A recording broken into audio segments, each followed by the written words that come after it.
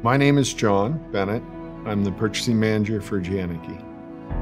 My particular role, being the purchasing manager, I have many supplier relationships. Being in supply chain, we got to make sure that operations is fully supported.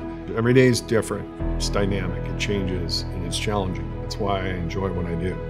Janicki is a diversified engineering manufacturing company that builds things. Everybody needs something engineered, and we'll just happen to build it for you at the same time. From yachts to commercial jets to fighter jets to spaceships, space shuttles, we do it all.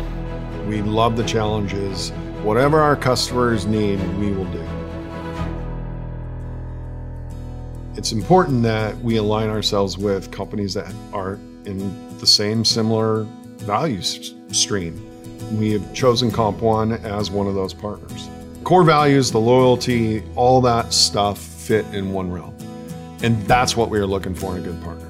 I would recommend Composite One in a partnership for one real good reason. You can trust them.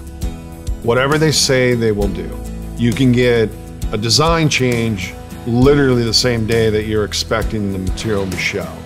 What do you do with that? Well, you work with a good supplier like Comp One and you work through all the craziness.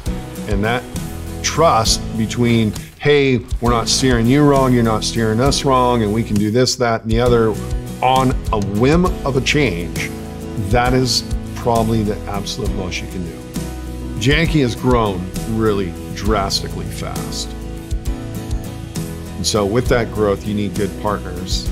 It's nice to know that Composite One is right there with Janicki when it comes to growing. They have just as much interest in us growing versus them growing. So Composite One has um, partnered with Janicki to, you know, I've got a problem. I need you to help me solve it. And there is no, I can't do that. They just do it. They help me. Composite One heard us and said, we, we will help you solve this. They step above and beyond what your expectation is. You can't put a dollar number on it. Can't put uh, anything really on it except for that's the person, that's the company I want to partner with and stay. So.